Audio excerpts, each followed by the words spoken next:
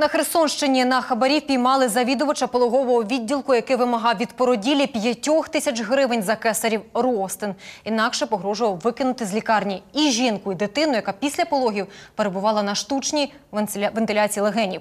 Родина гроші знайшла, але на зустрічі з медиком чоловік породіллі прийшов із працівниками поліції. Та наша Ірина Заїка з'ясувала, що підозрюваний і досі працює в тому самому відділкові. Я все время с ней разговариваю. Я даже дома мысленно с ней хожу, разговариваю. Подбадриваю ее, держись, старайся, ты молодец, ты умница. 33-річна Ольга три тижні тому втретє стала мамою. Після двох старших синочків у родині нарешті народилася донечка. Та жінка й досі не може притулити до грудей свою крихітку. Маленьку Настю рятують в обласній дитячій лікарні. Тепер через карантин жінка взагалі не бачить донечки. Ребеночек родился в таком состоянии, что ему было необходимо немедленно э, оказывать помощь. Она заключалась в том, что ну, он нуждался в переводе на искусственную вентиляцию легких с обязательным введением препаратов, которые, ну, скажем так, легкие открывает. Пологи в Ольги сталися раніше на два місяці із серйозними ускладненнями. У жінки несподівано відкрилася кровотеча, і лікарям довелося терміново робити кесарів ростин і рятувати і маму, і немовля. Акушерки, девочки, медсестры там бегали, все делали, пришел анестезиолог. Ну и все, потом в операционную и, и все. Там я и уснула. Проснулась, и потом мне сказали, что девочка кило 370. Зашел реаниматолог, детский врач, и он говорит, проблемы, конечно, с дыханием у ребенка. Аби врятувати донечку, на ліки родина щодня витрачає понад тисячу гривень. А тут ще й завідувач пологового став вимагати п'ятьох тисяч гривень винагороди за кесарів ростин. На третий день после операции он ко мне подошел и сказал, что э, надо рассчитаться за операцию. Я говорю, Евгений Геннадьевич, ну такая ситуация, говорю, я просто говорю, ну сейчас у нас ребенок в реанимации, буквально только говорю, ну я думаю, что сейчас у нас таких финансов, говорю, нет.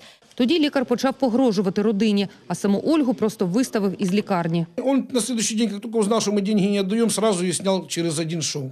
Он снял и швы, с- выставил вещи и сказал, иди с Богом, и все. Он типа говорил, что он позвонит в детскую областную больницу, что меня не будут лечить ребенка. Віталій зібрав гроші та запросив на їхнє вручення працівників поліції. Меня Сотрудники службы безопасности одевали на меня видеокамеры.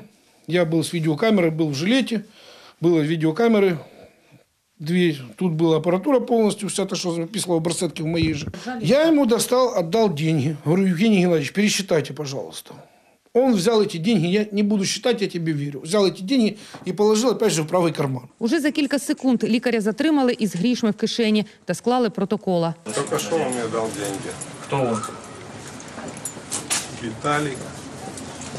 Как А за что он вам де- деньги дал? За что он вам дал деньги? Какую сумму? Поблагодарил за роды. Справу порушили за статтею отримання неправомірної вигоди. Та лікаря навіть не відсторонили від роботи. Він і далі працює в тій самій лікарні. Лікарю вже повідомлено про підозру у вчиненим кримінального правопорушення та обрано зах- запобіжний заход захід у вигляді особистого зобов'язання.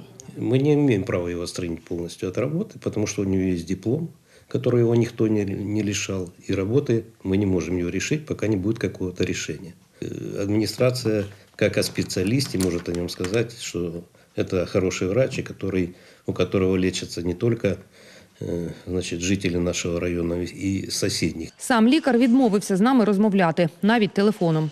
Євгеній Геннадійович, може, ви все-таки к нам вийдете і пообщаєтесь з нами? Ну, я же сказал, что нет. До свидания. Якщо вину лікаря таки доведуть, йому загрожує до двох років позбавлення волі. Ірина Заїка, Віталій Новак, програма Вікна СТБ.